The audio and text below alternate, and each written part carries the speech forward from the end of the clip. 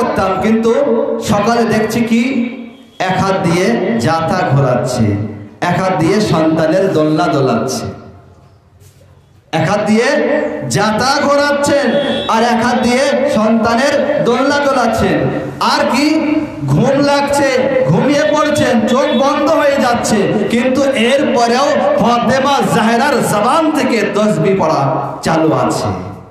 আল্লাহ একবার তো এই যে বলা হয়েছে বুতুলে আসরা অর্থাৎ যার কোনো মুহূর্ত এবাদাত থেকে খালি যায় না তাকে বলা হয় বুতুল। আর বুতুলে আসরা হলো ফাতেমা জাহেরা সালাওয়াত।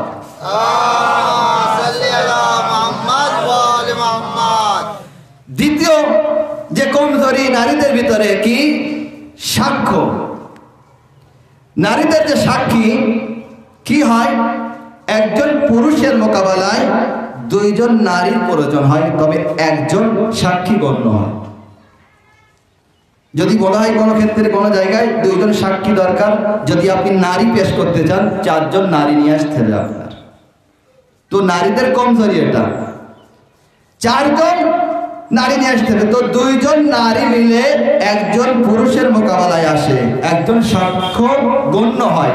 তো ফাতেমা জায়রা সালামুল্লাহ আলাইহার বিষয়ে দেখুন। ফাতেমা জায়রার বিষয়ে আল্লাহর নবী বলছে, শোনো, অন্যান্য নারীদের ক্ষেত্রে আলাদা বিষয়, কিন্তু আমার বেটি ফাতেমা জাহেরা তার সাক্ষ্য পরিপূর্ণ সাক্ষ্য। শুধু এই পর্যন্ত নয়, যদি ফাতেমা জাহেরা সাক্ষী দেয়, আর তার সামনে কোনো পুরুষ সাক্ষী দেয়, তাহলে সেই পুরুষের সাক্ষ্য গ্রহণ করা হবে না। ফাতেমা জাহেরার সাক্ষ্য গ্রহণ করা হবে, নারায় সালাম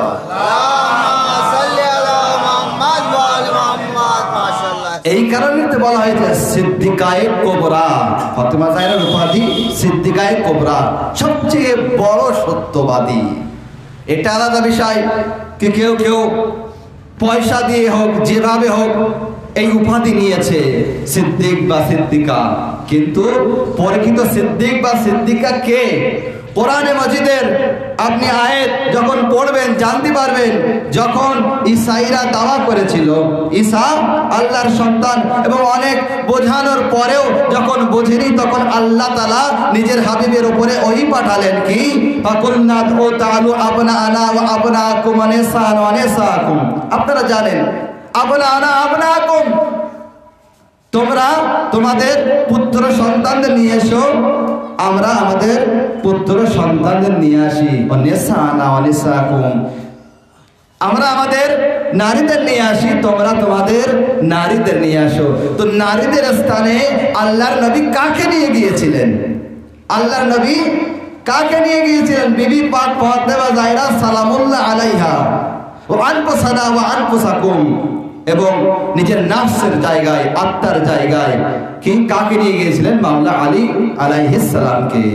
তো বেটার জায়গায় সন্তানদের জায়গায়, হাসান, হোসাইন, নারীদের জায়গায়, বিবি পাক, ফাতেমা, জাহেরা, সালামুল্লাহ আলাইহাকে এবং নাফস জানের জায়গায় মাওলা আলীকে নিয়ে গিয়েছিলেন।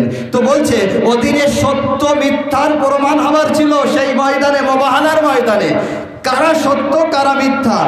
যারা মিথ্যাবাদী হবে, তাদের উপরে আল্লাহর লানাত বর্ষিত হবে। তো ওই দিনে অনেকেই প্রথমে বলছিল যে, কালকে আমি যাব আমি যাব আমি যাব। এই করে অনেক জনের রাতে ঘুম আসেনি। কিন্তু যখন আল্লাহর নবী বলেছিলেন, কালকে মোবাহালার ময়দান থেকে তারাই ফিরে আসবে। যারা মায়ের কোল থেকে নিয়ে আজ পর্যন্ত মিথ্যা কথা বলেনি, তারাই শুধু ফিরে আসবে। যারা সারা রাতে বলছিল, আমি যাব আমি যাব আমি যাব, যখন এই কথা শুনলো যে কোনো মিথ্যেবাদী কালকে ফিরে আসতে পারবে না। তখন আর কেউ বলল না, আমি যাব। তো ওই দিনে প্রমাণ হয়ে গিয়েছিল, যারা যারা আল্লাহর নবীর নিকটে সত্যবাদী ছিল, তারা তাদেরকেই নিয়ে গিয়েছিলেন। এই পঞ্চতন পাক হলো সত্যবাদী। এদের মোকাবেলায় অন্যান্য স্ত্রীর ফজিলাত হতে পারে, কিন্তু এই সত্যবাদীর গণ্ডির ভিতরে আর কোনো স্ত্রী হতে পারে না। নারায় সালোয়া এই হচ্ছে মা ফাতেমা জায়রা সালামুল্লাহ আলাইহা। ফজিলা এবারে দেখুন, সমস্ত নারীদের সর্দার নিনাম আরেকটি কমজোরি নারীদের কি আছে? মেরাজ। পুরুষের মোকাবেলায় একজন নারীর মেরাজ অর্ধেক। ভাই বোন হলে ভাইয়ের অর্ধেক পাবে বোন। তো কমজোরি আছে, কিন্তু মা ফাতেমা জাহেরার বিষয়ে দেখুন। ফাতেমা জাহেরার যে ভাই ছিল, তারা কিন্তু কেউ বেঁচে ছিল না। তারা সবাই মারা গিয়েছিল। তো এটাই বয়ান করছে, আল্লাহ তালা চায় না, আল্লাহ তালা চায় না যে ফাতেমার মেরাজে কোনো ব্যক্তি অংশ হোক, অংশ নেই। অর্থাৎ তার অধিকার পুরোপুরি যাতে ফাতেমা জাহেরা নিজের মেরাজকে পেতে পারে বাবের বাবার সম্পত্তি, বাবার মেরাজ পেতে পারে। এই কারণে বলছে, ওলমারা লিখেছে, সফিনাতুল বিহারের করছে আব্বাসের কর্মী কি? ওই যে মেরাজ ছিল, সম্পূর্ণ অধিকারী মা ফাতেমা জাহেরা ছিলেন। এই কারণে তার ভাইয়েরা কেউ বেঁচে ছিলেন না। নারাই সালোয়ার তো নারীদের যে কমজোরি তিনটি, কিন্তু এই তিনটি কমজোরি মা ফাতেমা জাহেরার বিষয়ে ব্যতিক্রম। সকলের থেকে আলাদা এবং অনেক মর্যাদাবান। এবারে নারীদের কিছু বিশেষত্ব আছে। স্পেশালিস্ট আছে। যেমন, নারীদের বিশেষত্ব কি আছে? কিছু গুণ আছে, শ্রেষ্ঠত্ব আছে কিছু। যার মধ্যে একটি হলো কি? কন্যা সন্তান হলো রহমান। পুত্র সন্তান নেইমাত আর কন্যা সন্তান হলো আল্লাহ রহমান। এটা আলাদা বিষয় যে আমাদের বাড়িতে কন্যা সন্তান হলে অনেকের মুখ কালো হয়ে যায়, অনেকে আনন্দ পায় না। কিন্তু আল্লাহর নিকট কন্যা সন্তান বেশি মর্যাদা রাখে। এই কারণে বলা হয়েছে কন্যা সন্তান রহমান আর আল্লাহর নবী কি? নেহমাত আলামিন নয়। সন্তান কি? পুত্র সন্তান নিহমাত আল্লাহর নবী নিহমাত আল্লিল আলামিন নয় আল্লাহর নবী রহমতুল্লিল আলামিন। আসসালাম মোহাম্মদ আলী মোহাম্মদের উপরে।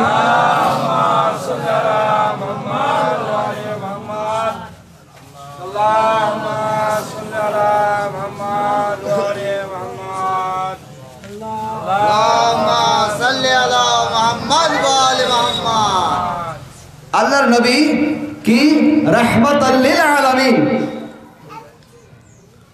এবারে দেখুন ফাতেমা জাহরার ফজিলাত দেখুন। একজন কন্যা হলো কি? রহমত। আর পুত্র সন্তান কি মা ফাতেমা জাহেরা কি রেহমাত আছে? আর আল্লাহর নবীর বিষয়ে কি বলছে? আল্লাহ রাব্বুল ইজ্জত কোরআনে মাজিদের ভিতরে বলছে কি, মোহাম্মদ কিছুই নাই, আমার কি রসুল আছে, আর রহমাত আল্লিল আলামিন আছে। কি আলামিনদের জন্য? মোহাম্মদ, অর্থাৎ আমার আপনার নবী পুরো আলামিন, যে কটি দুনিয়া আছে, এই দুনিয়ার জন্য কি আমার আপনার নবী রহমত আছে? যে দুনিয়ার সকলের জন্য রহমত আছে, তার জন্য রহমত হলো ফাতেমা জাহেরা, নারায় সালোয়ার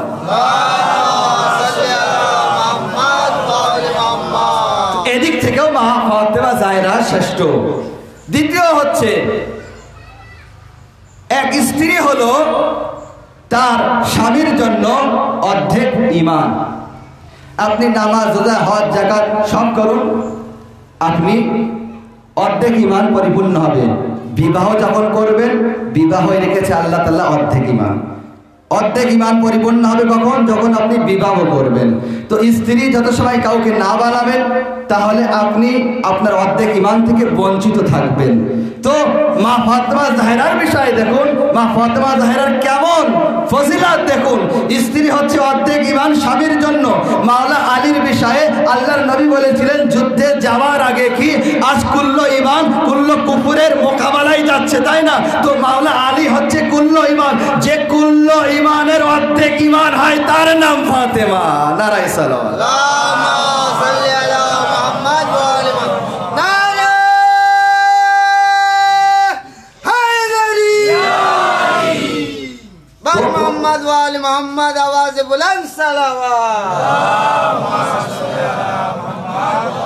যে ইমানের হয় সে হলো ফাতেমা জাহরা সালামুল্লাহ আলাইহা।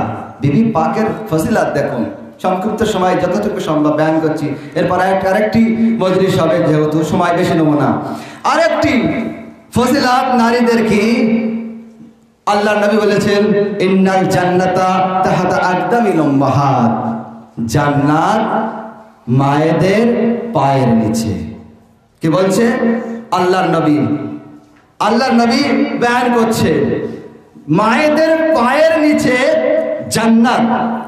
এবারে দেখুন, অন্যান্য নারীদের থেকে কীভাবে মা ফাতেমা জায়রা শ্রেষ্ঠ? তো নারীদের গুণ এটা কি? নারী অর্থাৎ মা, মায়ের পায়ের নিচে জান্নাত। আর মাওলা হাসান হোসাইনের বিষয়ে আল্লাহর নবী বলেছেন, যখন তিন, চার বছর বয়স ছিল, তখনই এই হাদিস বর্ণনা করেছিলেন, ইরশাদ করেছিলেন কি? আল হাসান আল হোসাইন সৈয়দা শাবাবে আহলিল জান্নাহ। হাসান আর হোসাইন জান্নাতের যুবকদের সর্দার আছে। তো জান্নাতের যুবকদের সর্দার হলো কে? হাসান হোসাইন। তো যে জান্নাতের যুবকদের সর্দার হয়, সেই সর্দার কি? তাদের জান্নাত যার পায়ের নিচে, তার নাম হলো ফাতেমা জাহেরা। নারায় তো ফাতেমা জাহেরার ফাজিলা ব্যান করলে অনেক সময়ের ব্যাপার, অনেক সময় দরকার। তারপরে ফাতেমা জাহেরার কিছু ফজিলা ব্যান করা যায়। আছি তো তো বিবি পাক ফাতেমা জাহেরা সালামুল্লাহ আলাইহার, এই হলো মর্যাদা। ফাতেমা জাহেরার উপরে যে কষ্ট, যে মুসিবত এসেছে, তার বিষয়ে বিবি পাক নিজেই বলছেন, বাবা, আমার উপরে যে মুসিবত এসেছে, যদি দিনের উপরে আসতো, দিন অন্ধকারে পরিণত হতো।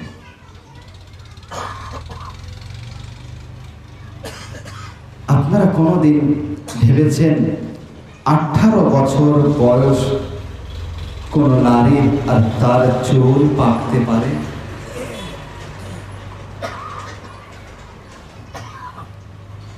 আঠারো বছর বয়সে মা ফাতেমা সাহেরা সালামুল্লাহ আলাইহা চুল পেকে গিয়েছিল।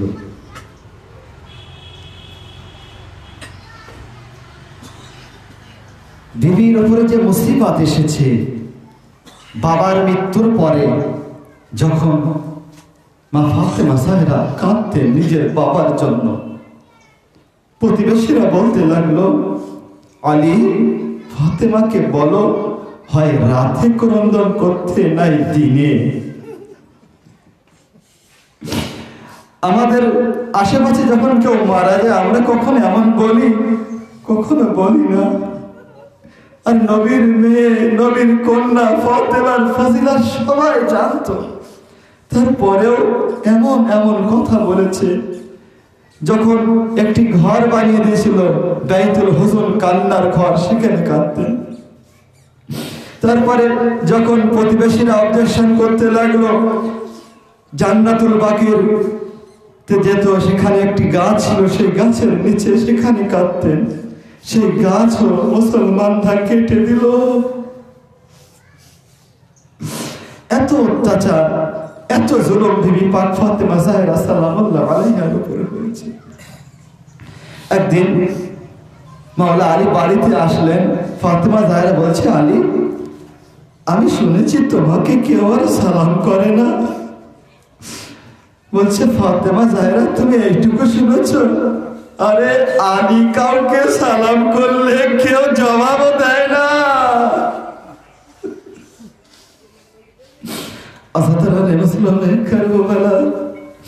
বিবি পাক ফাতেমা জাহেরা সালামুল্লাহ আলাইহার উপরে কত জুলুম।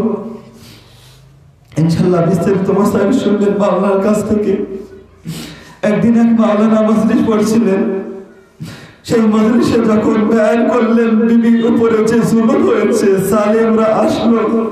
আসার পরে সেই দরওয়াজায় আগুন লাগালো। দরওয়াজায় আগুন জ্বলছিল এবং সেই দরওয়াজায় যখন চলছিল সেই দরওয়াজায় এক জালিম আগে বাড়লো আর আগে বাড়ার পরে মেরেছিল জ্বলন্ত দরজায়। বিবি পাক ফাতেমা জাহেরা নিজের হাত দিয়ে সাপোর্ট দিচ্ছিলেন পিছন দিক থেকে, যেন জালিমরা ঘরের ভিতরে প্রবেশ না করতে পারে। যখন চারিদিক থেকে যখন হামলা করল, আগুন লাগালো, ধাক্কা মারতে লাগল, বিবি আর রক্ষা করতে পারলেন না। ওই জ্বলন্ত দরজায় একটি পেরেকও ছিল। আপনারা দেখেছেন লোহার দোকানে যখন কোনো লোহাকে গরম করা হয়, সেই লোহা লাল হয়ে যায়। ওই দরজায় একটি পেরেক ছিল, আগুনে জ্বলে, আরে লাল হয়ে গিয়েছিল। যখন ওই জ্বলন্ত দরজা ফাতেমা জায়গার ওপরে পড়ল, ওই পেরেক বিবির বাজুতে উঠে গেল। দিল বিসা আরে আমার মাকিলকে বাঁচাও, আমার দিল আজিদানে গ্রামী বিবি, একবার কি করলেন? মাওলা আলীকে ডাকলেন না, জানতেন আলী গদা করেছে বাবার সাথে তলবার ওঠাবে না। কি করলেন? নিজের বাবার রওজার দিকে ফিরলেন, ফেরার পরে বলছে, বাবা দেখো তোমার উন্মতরা আমার উপরে কেমন জুলুম করছে। এরপরে একজনকে ডাকলেন, কাকে ডাকলেন জানেন? মাওলা আলীকে ডাকলেন না। হাসান হোসেন ছোট ছিলেন, জানতেন এরা ছোট বাচ্চা, এদেরকে ডাকা যাবে না। একবার স্মরণ করলেন আমাদের যুগের ইমামকে। বেটা মেহেদি এসো, নিজের দাদির বদলা নিও।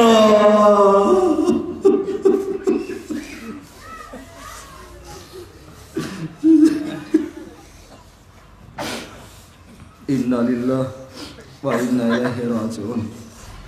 لذنبك زي وتسليما لأمرك على لعنة الله على القوم السعيد